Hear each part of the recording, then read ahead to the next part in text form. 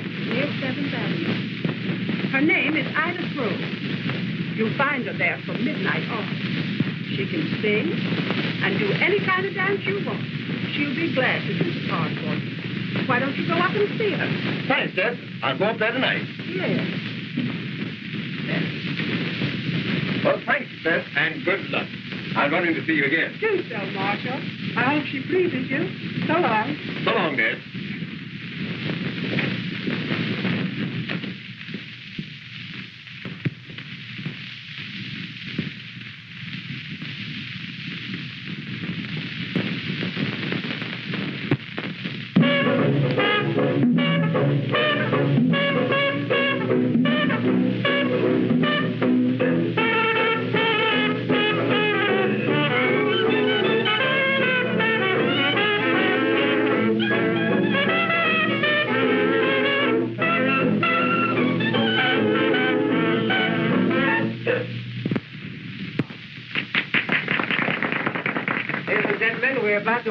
Open the Barn-Town Review. All right, boys, hit it.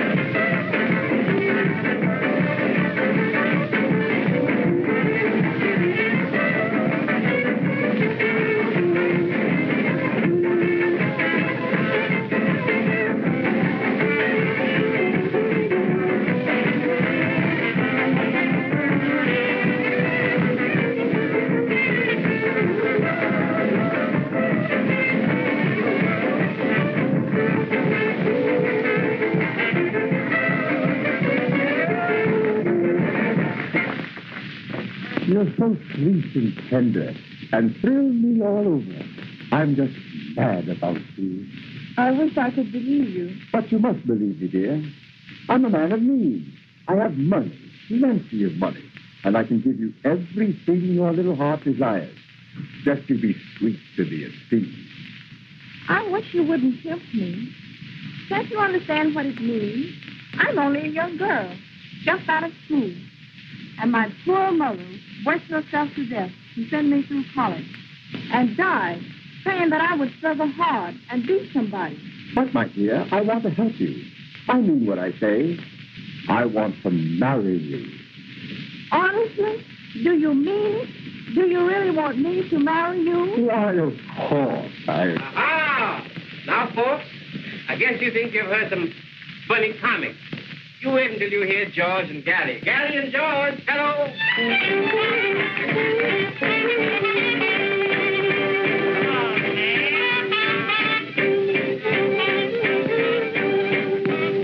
I've been trying to get you to keep up with me all the time. What you want to do is to stop talking about going to jail. Uplift yourself. Elevate. Be somebody. Follow in the footsteps of great men. Now, what is the use of me being somebody in elevation? What's good going to do to me? I to go where, where I can eat.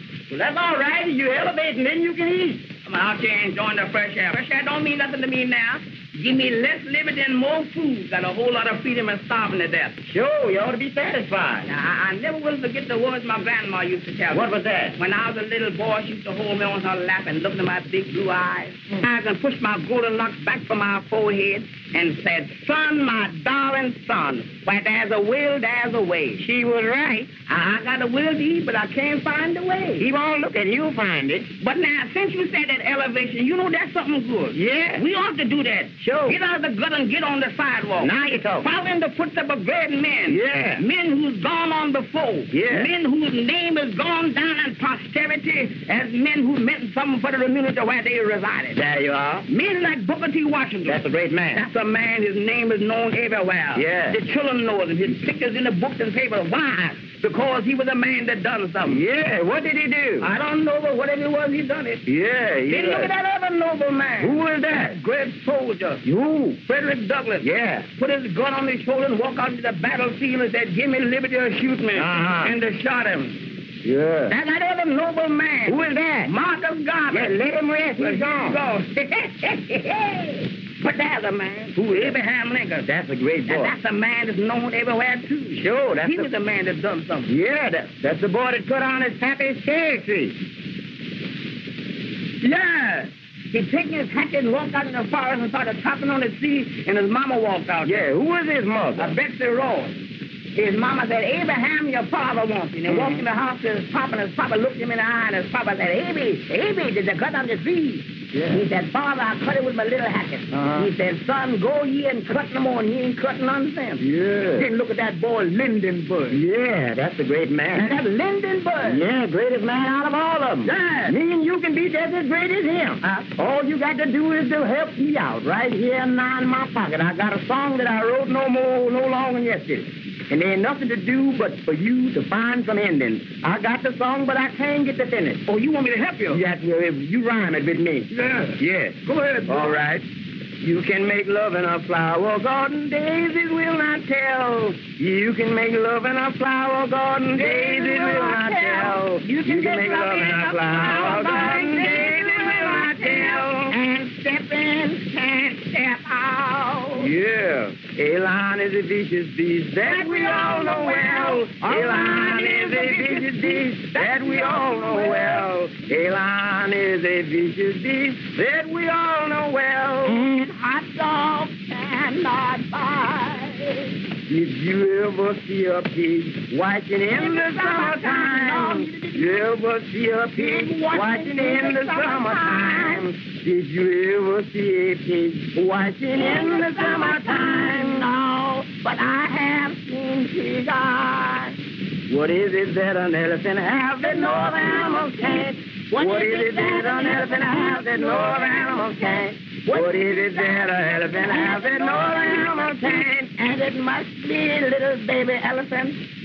You can write the winter when the trees are budding gone. You can tell when it's gone. The trees begin to bud. You can tell when it's gone. The trees begin to bud. When it's gone, summer draws on. Why did the boy stand on the burning deck? Why did the boy stand on the burning deck? Why did the boy stand on the burning deck? It was too doggone hot to sit down.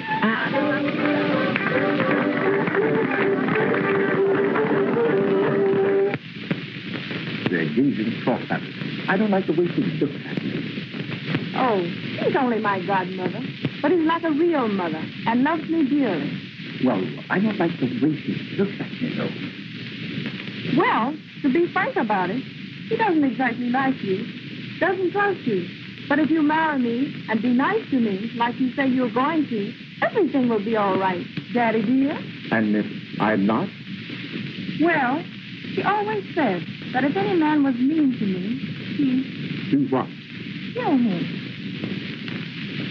But you will be nice to me, won't you, Daddy? Why, of course I will, dear. Especially I will. You know I will. Oh, Daddy, you make me so happy. Supposing we dance now. Yes, suppose we do. Oh. Boy, oh boy, oh, you never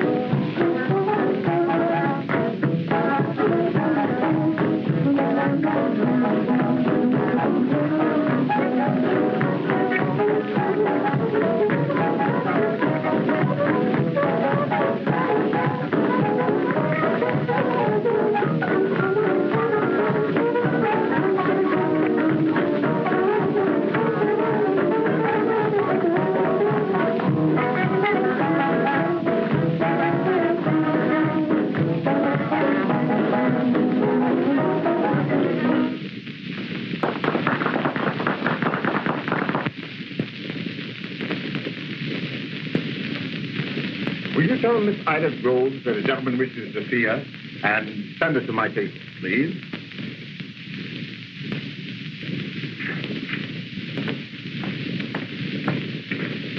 This is Miss Ida Groves, mister.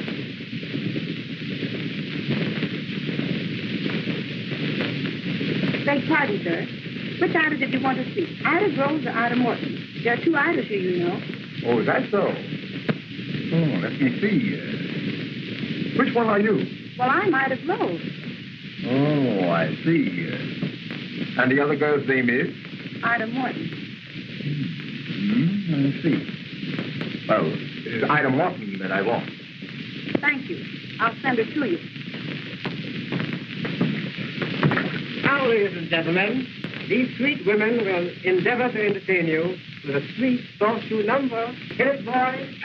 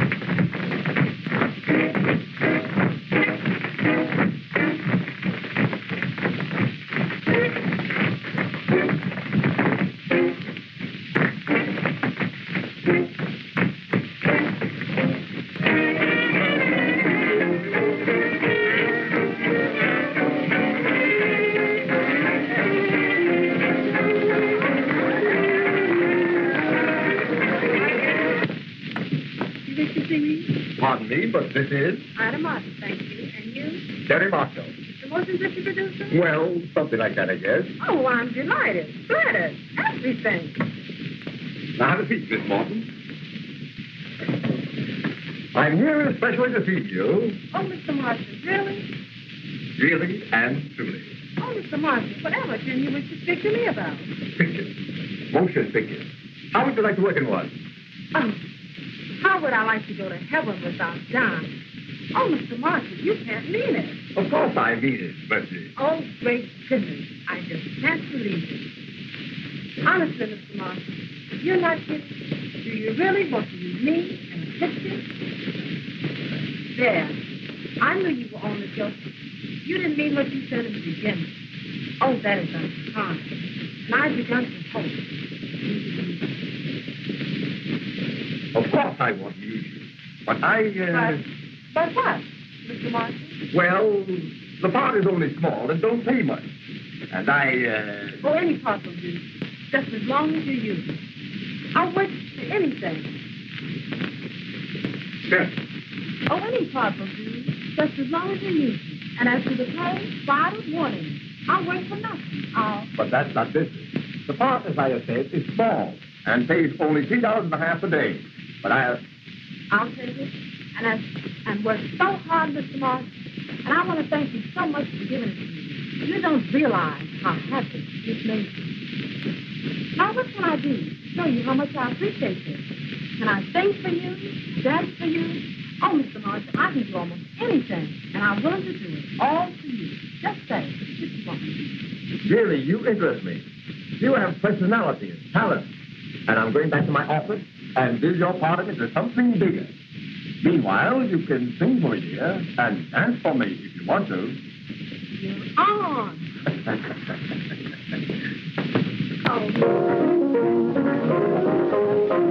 While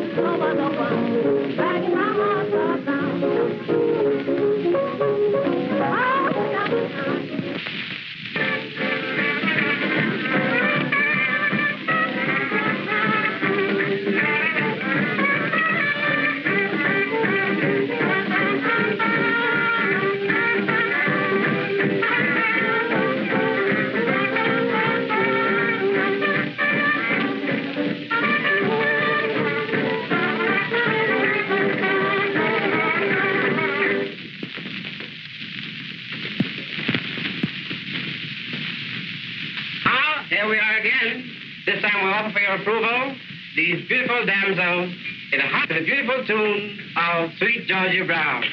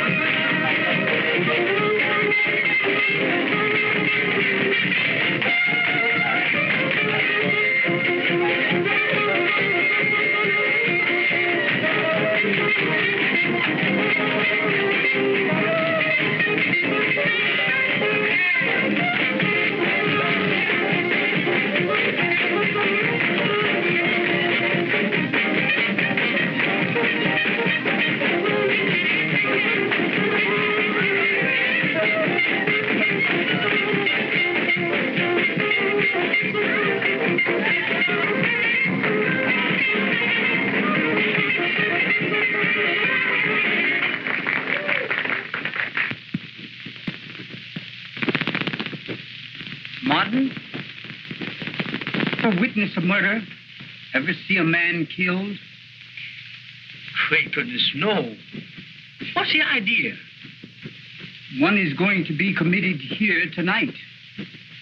What are you talking about?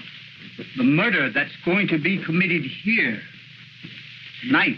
If you're not joking, I'm ready to leave. I'm not joking. Do you see that woman over there?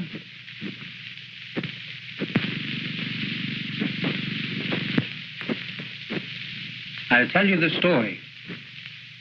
Fifteen years ago, she was young and beautiful. And she was madly in love with the man that you see her there now with. No, no, you're mistaken. It is true that he betrayed her, but she's not seeking revenge for herself, but for another.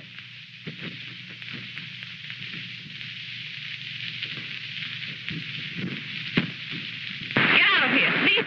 Get no foot, that's all. I won't leave until I'm good and ready. You can't find work because you're not looking for it. You've done nothing to help me, but plenty to hinder me since the baby comes. I hope I never see you again. Leave this house now. See,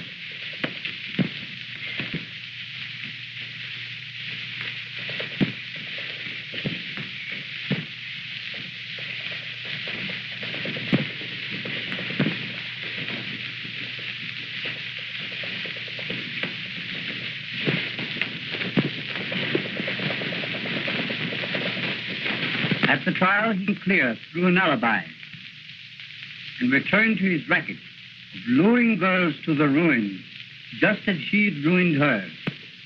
It so happened that this girl had told the woman her story, and the woman had cared for her and still keeps her baby. Now he's due here tonight, and she is waiting, is going to shoot him on sight. I move now. No. You're too late. Here he comes now.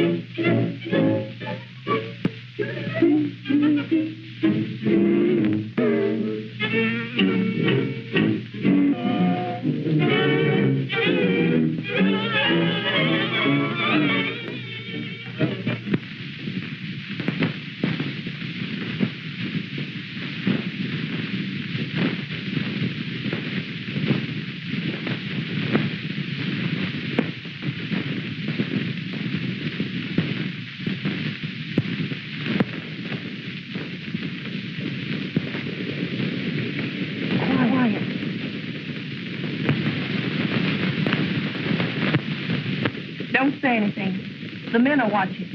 I know it looks bad for me, but I'm not going to do anything. I shall sit right here and wait until I receive the other note. And then, But Lisa, are you mad? Do you think I'm going to sit here and see you, the woman I love and have always loved, murdered by this madman? Why, I... please, Anthony. You know I love you too, and have traveled thousands of miles in my efforts to escape this madness and find you. Oh, Anthony, my love, I wish I could embrace you so you could feel the beat of my heart and know that I love you just as much as you do me. But listen, Anthony, but you must promise to be patient and believe me. Last night, I dreamed of Mother, my poor dear mother, who's dead. She came to me in my sleep and told me this man would catch up with me here in New York, but not to run away. And that before... Oh, Anthony. Come on, dear. Dear. Be calm, my baby. Place your trust in God. Something terrible is going to happen. But have faith, my daughter. Have faith. Lisa, I'm going out that door. And you're going with me. But I... Please don't, Anthony. If you love me truly, don't try and take me out of here now. But just sit with me, close to me. And wait. I'm not afraid. I'm strangely confident and happy. Now, the show is going to start. Let's just sit here and wait and see it. Until.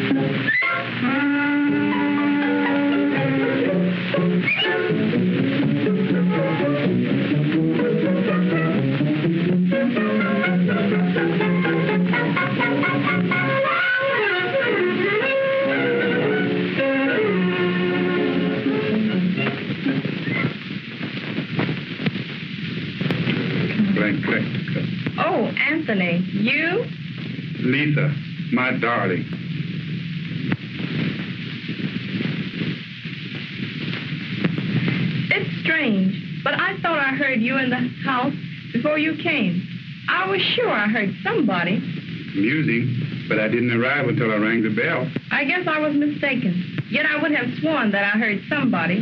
However, now that you are here, take a seat in the parlor while I run upstairs and finish dressing. I'll be down in two minutes. Oh, dear. Please don't. Just another, my angel. You must remember, I haven't seen you for weeks.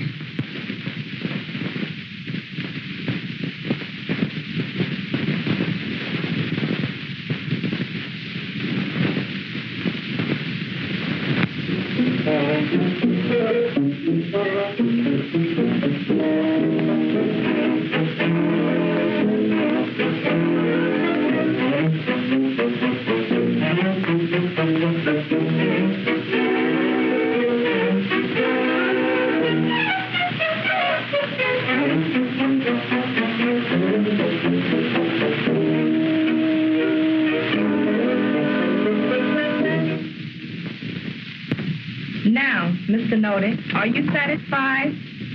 No, another.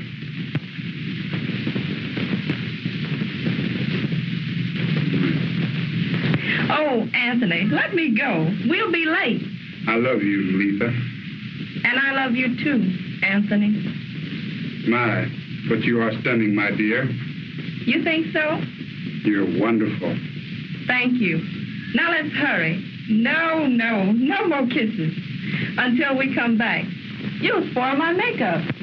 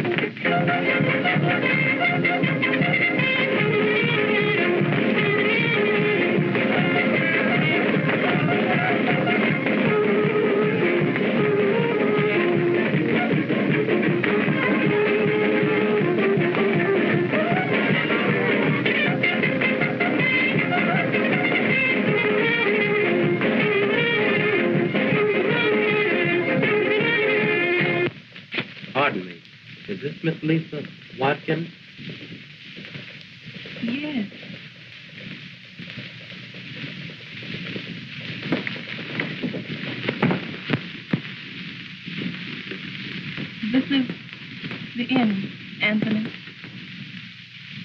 And there is no escape now. I I must go. I understand. And you must go. But I am going with you.